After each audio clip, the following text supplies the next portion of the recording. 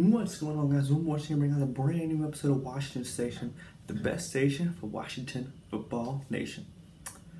Three weeks, three losses. We're one and three, second in the division because the Eagles won and they have a tie, so they're a half a game above us.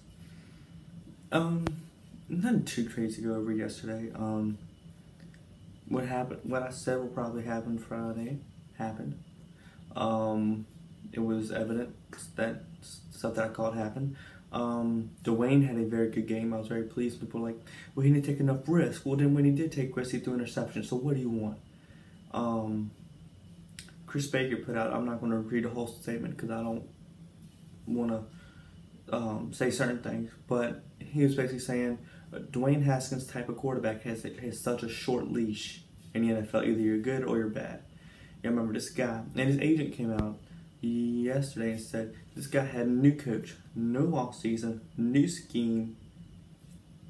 Told us to be a starter. He had nothing going into this, so you cannot put this all on him. Is he playing bad? Yes. Is he missing opportunities? Yes.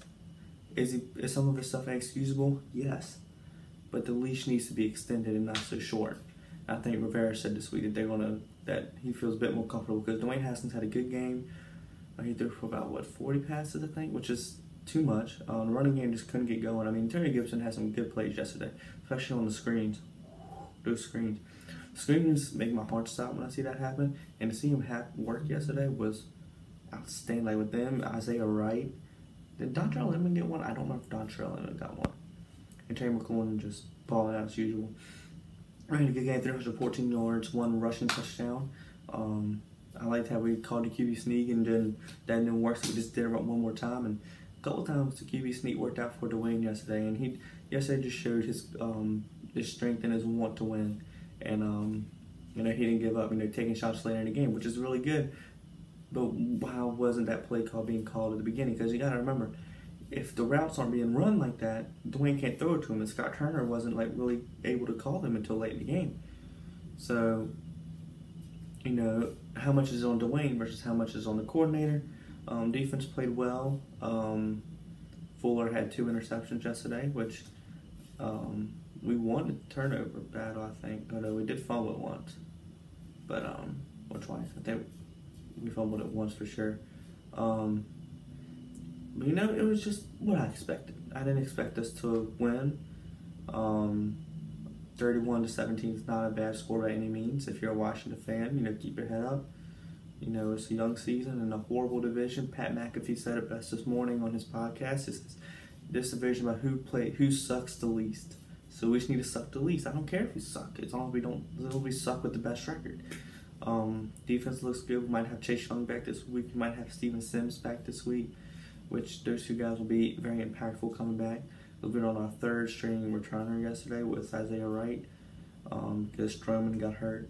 Um, but the O line, the first pass of the game was absolutely horrendous where they let Matthew Judon unblocked and just took down Dwayne.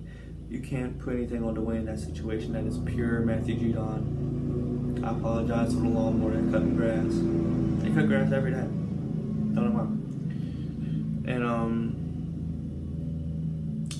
but yeah, that went unblocked and Dwayne went down to the ground. It is what it is. Uh, running game looked pretty good blocking. Well, you know, the O line is won't give us so much.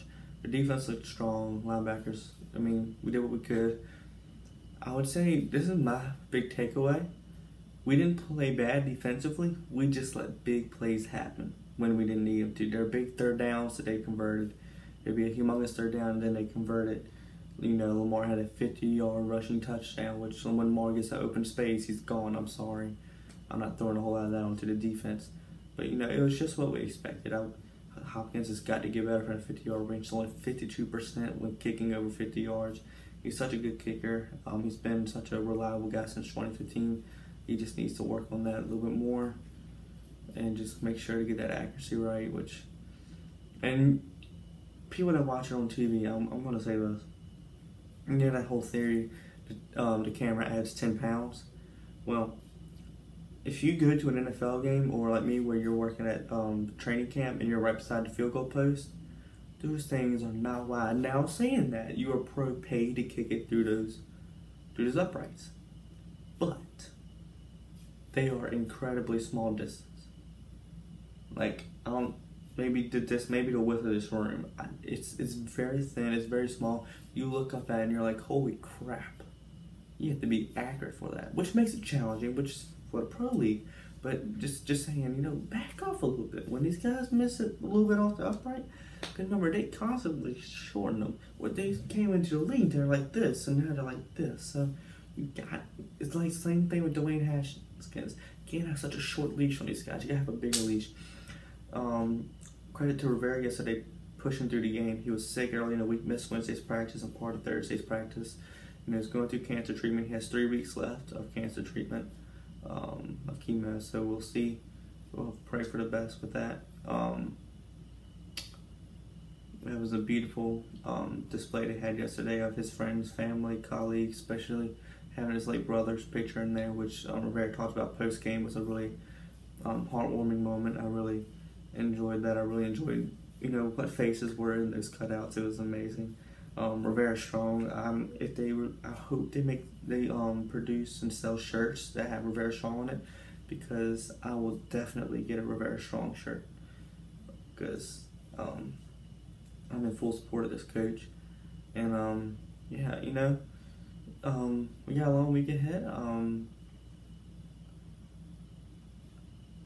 I think we got a couple good winnable weeks. We played the Giant, we played the Rams this week and Giants next week, so we should get ourselves back to 500 um, by the end because the Rams started out looking very strong this season, but now kind of look meh.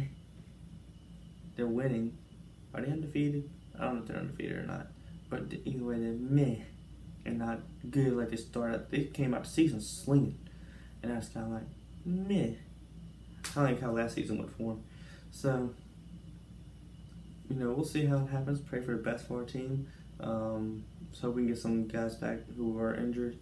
And uh, yeah, so hope you enjoyed today's video. Make sure to subscribe if you haven't already. Make sure to hit that bell button to notify every single time I upload a brand new video. Make sure to comment down below your thoughts. We're in a horrible division, so it's really not who plays least worst. So anyway, good football team. Um, hope you have a great week. Make sure to stay safe. I'm Will Morris, and you were, and you just watched Washington Station. I'm out. Peace.